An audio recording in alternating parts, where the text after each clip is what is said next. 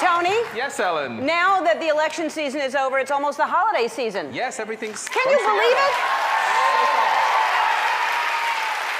We have really great stocking stuffers we're selling in our store and online. We have these uh, great T-shirts for our 10th season right here. These are uh, just just this season alone, and then we burn them. and then uh, a sweatshirt right here, cute little sweatshirt, hoodie, soft. And then we started selling these, which I think are really cool.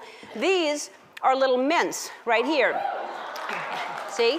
And this combines everyone's two favorite things mints and eating out of a shoe.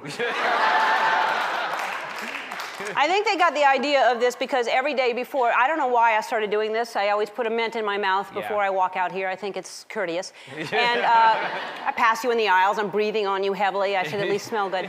So, anyway, so I started then at one point throwing them up in the air and catching them.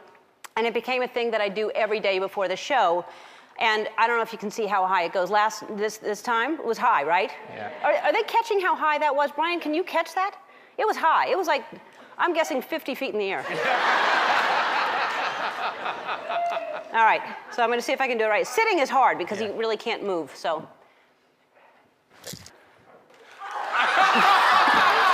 Hold on.